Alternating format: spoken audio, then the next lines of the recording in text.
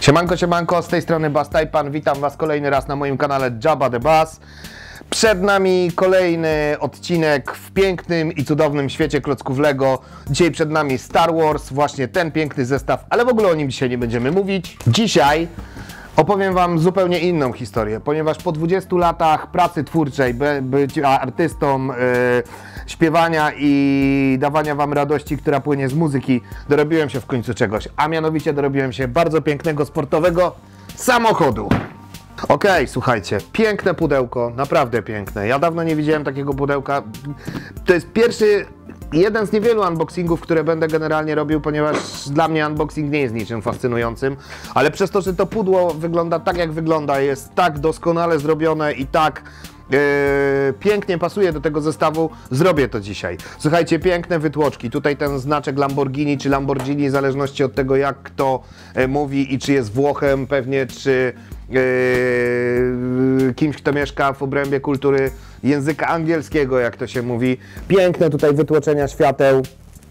Super, naprawdę zrobione to jest wszystko tak, jak powinno być, więc i samo pudełko jest równie, równie fascynujące jak cały zestaw. A więc mamy Lamborghini, Sian, Sayan, nie wiem też jak to się czyta, pewnie wszyscy czytają różnie, znaczy różnie, różni ludzie różnie czytają.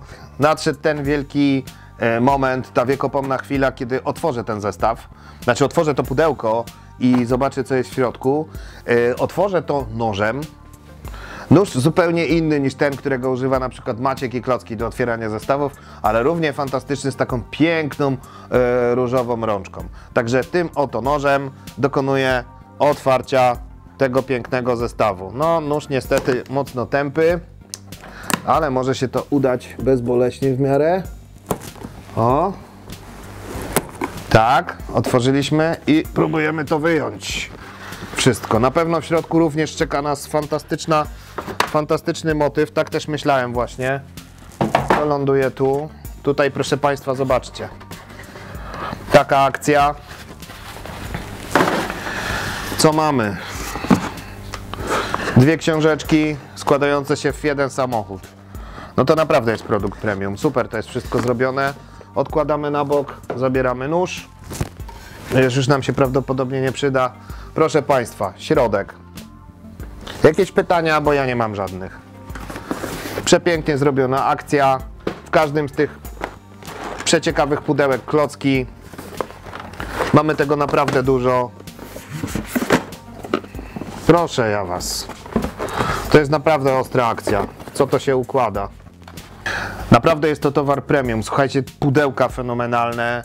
Zapakowanie tego wszystkiego super i no nie ma się tu do czego przyczepić. Naprawdę jest to tak zrobione, że dla fanów e, tego rodzaju samochodów, czy też e, tego rodzaju motoryzacji ogólnie szeroko pojętej, to jest to na pewno wersja, którą powinni mieć i powinni, e, powinno to wzbogacić ich kolekcję, kolekcję na 100%.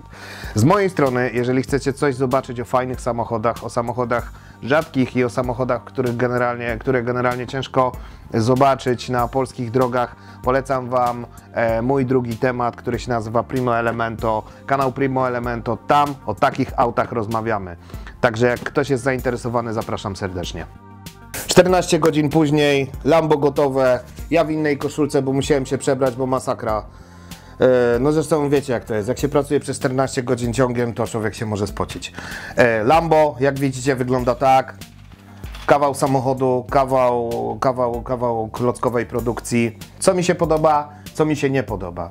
Więc nie podoba mi się przede wszystkim te 14 godzin, które poświęciłem na złożenie tego, znaczy wiadomo, jak to lubi. Ja nie do końca lubię, żeby to aż tyle trwało i dość mocno upierdliwe jest to składanie. No generalnie technik z mojej perspektywy jest ciężko składalny, ciężko mi się to robi, nie robię tego z jakąś specjalną fascynacją.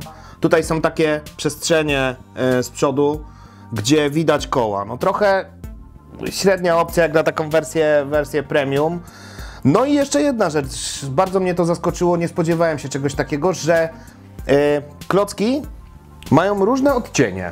Zastanawiające jest to. Nie wiem, czy to wynika jakby z Mm, Pewnie z jakiejś produkcji to wynika, no ale w każdym razie dość mocno mnie to zastanawia, dlaczego tak to właśnie wygląda, ale tak jest. Plusy. No jak sami widzicie, kawał autka wygląda naprawdę fajnie. Felgi, kozak. Najpiękniejsze, jakie do tej pory widziałem w Lego. No kawał felgi, kawał, kawał, kawał pięknego koła, które, które naprawdę tutaj wygląda tak, jak powinno wyglądać. Mamy wiele funkcji tak zwanych bawialnych, bo tak bym to nazwał. W sensie na przykład otwierane drzwi, o tutaj takimi przyciskami. Mamy zmienną skrzynię biegów, mamy 8 biegów w tej skrzyni. Yy, mamy wysuwany spoiler, fajna rzecz.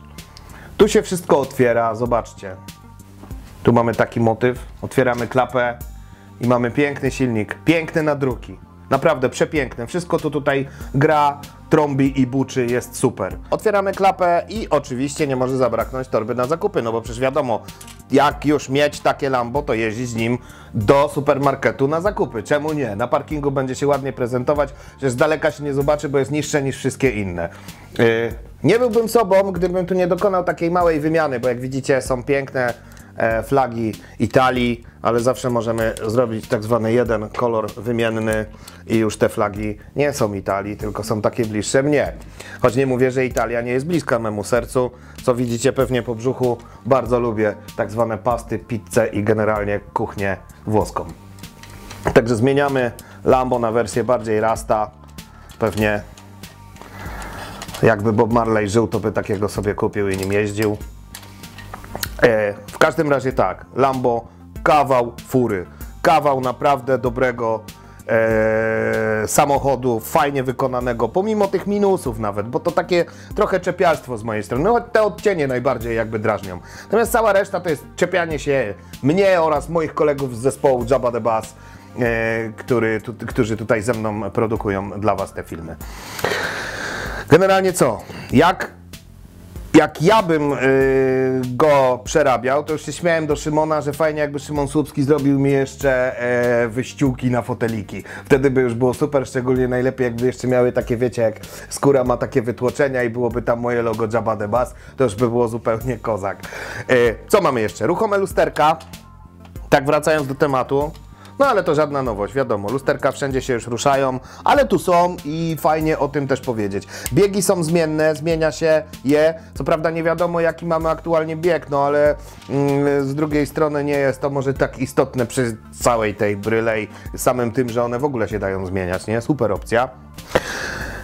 Co Wam jeszcze mogę o tym samochodzie powiedzieć? Jak ja bym y, sobie takiego kupował, to na pewno zamówiłbym go w zupełnie innym kolorze. Jeżeli oczywiście się da. Nie wiem, jak firma Lamborghini reaguje na wymianę kolorów w danym modelu i czy jest coś takiego możliwe, ale myślę, że przy wersjach premium wszystko jest możliwe i tutaj na pewno też by taka rzecz mogła nastąpić. Także ja bym go sobie na przykład wyobrażał w czarnym macie, by mnie bardzo satysfakcjonował, albo matowy czerwony byłby super. E, Dajcie mi znać, co sądzicie o tym kolorze, jak Wam on się podoba. I, czy, I w jakich kolorach Wy byście widzieli generalnie takie Lamborghini? Jak by Wam się najbardziej podobało?